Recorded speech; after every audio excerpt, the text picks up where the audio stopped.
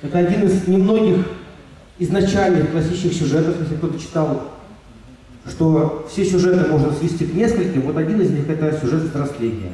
И прошу поставить презентацию, которая так и называется «Стартов». Всем привет, меня зовут Александр. А, ну, на чем мы начнем, это успех. Я вам расскажу успехи. Успехи для каждого. А, успех у меня начался необразно. А, он начался на хакатоне. Что такое хакатон? Хакатон – это такое мероприятие, где люди тоже совместно проводят хорошее время. Мы собираемся, что-то делаем, показываем это инвесторам. В общем, весело проводим время. Но это необычное а, мероприятие. Мы здесь делаем это быстро. Когда я это делал в первый раз, я делал медленно. Каждое мероприятие проходит очень четко. В каждом мероприятии мы э, создаем что-то новое. Э, здесь э, никогда нету что-то одинакового. Надо чему-то учиться новому. Что-то программировать, говорить. Каждый в команде делает что-то свое. И это создает костыль команды. Конечно же, неудачи. Неудачи у каждой команды на хакатоне случается. Кто-то выигрывает, кто-то проигрывает. Проигрышей больше, кто-то выигрывает.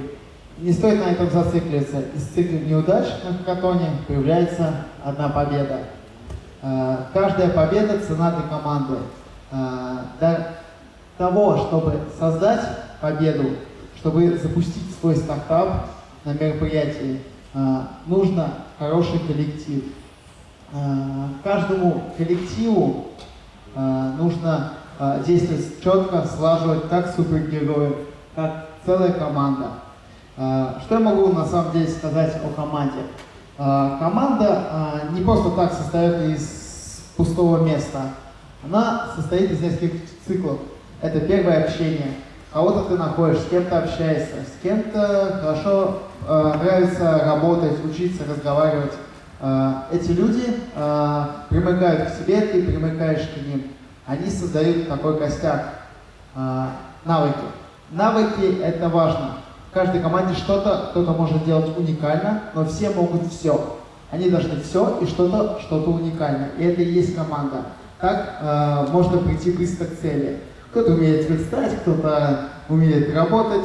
Это и есть та самая структура. Структура знаний, которая создается в команде.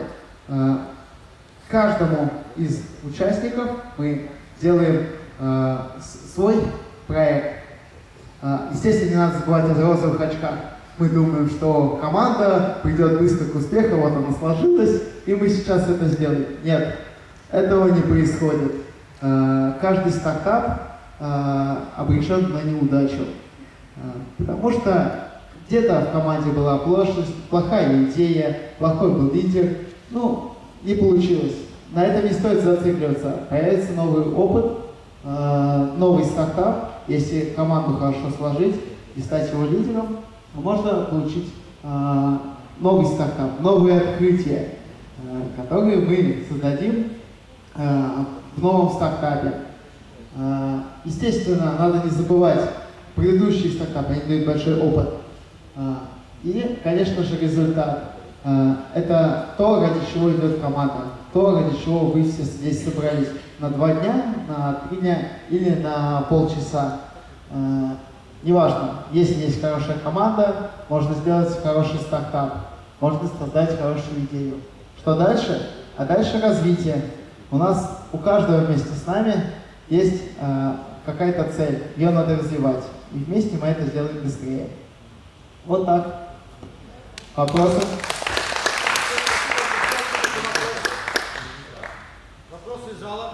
Вопросики? Можно конкретный пример успеха?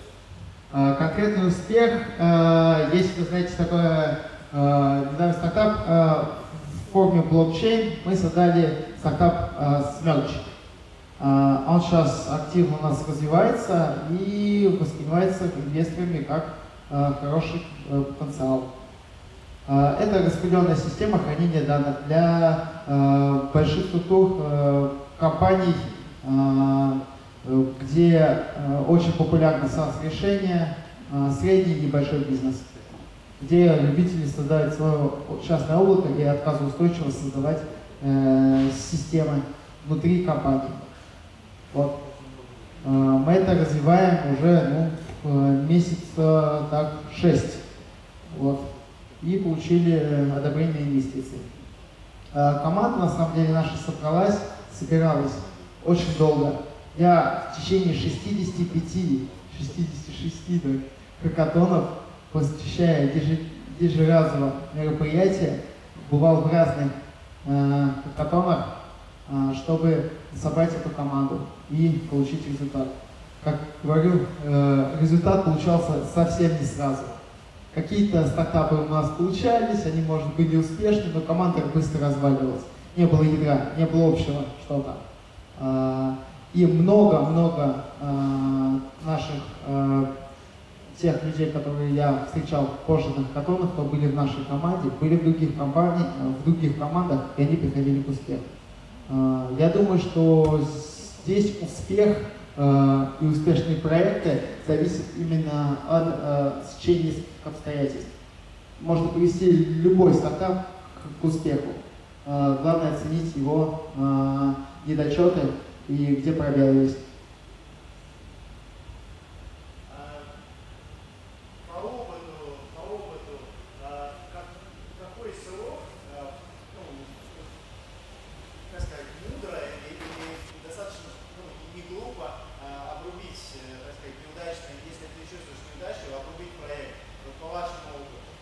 Ни в коем случае. Надо выжимать все. А, а, это понятно, что он доходит. А, это можно оценить, это оценивают инвесторы. Они говорят, это хорошо, потому что результат стартапа это все-таки система, которая будет приносить прибыль. Прибыль могут сказать, прибыли могут сказать люди, которые этим занимаются. Я могу так сказать об опыте, вот честно. В моей команде было 6 финансистов и один программист. Вот. Э, они могли сказать, э, какую я идею не предлагал им, они ее сразу обрубали, говорили, это не пойдет, сразу не пойдет, сразу не пойдет.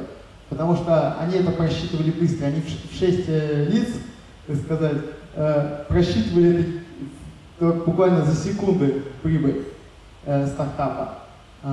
И в результате, именно благодаря вот той команде, с которой я понял, что такое успешные и насколько вот где грань неуспешности в инвестициях и финансировании э, стартапа. Э, это скажут много, об этом только смогут сказать э, инвесторы, об успешности стартапа. А до этого надо вложить все э, силы, чтобы он заработал. То есть работать, работать, работать над своим проектом.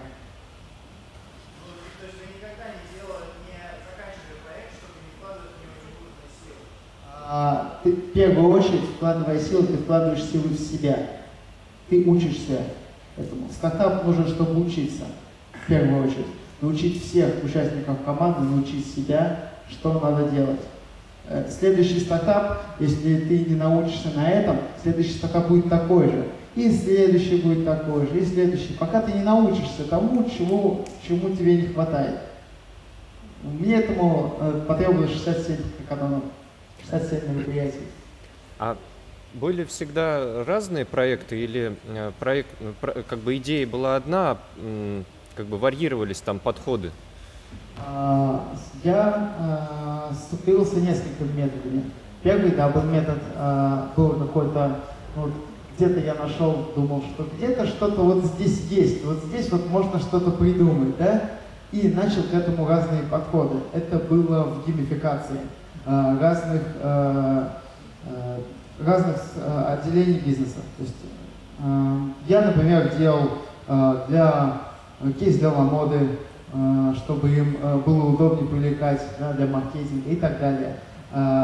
И у меня был какой-то вот наработок игры, да, наработок геймдизайна, и я его применял где можно, только можно. И к нему подходы разные наращивал, что-то убавлял а потом понял, что не всегда это эффективно. Где-то это применимо, а в большей степени это просто отваливается. А, и начал создавать заново, что-то слушать других, может быть, модифицировать их идеи. А, Нет такого четкого понятия. Надо применять несколько подходов. Э, Не подходится что-то дорабатывать, создавай новое.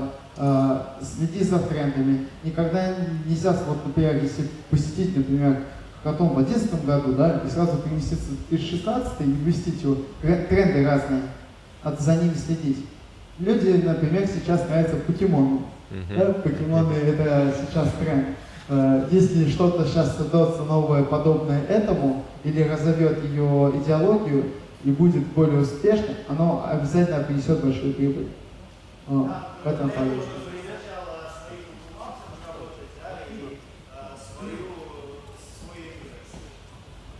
факте. Ну, примерно. Друзья, время у нас закончилось. Э,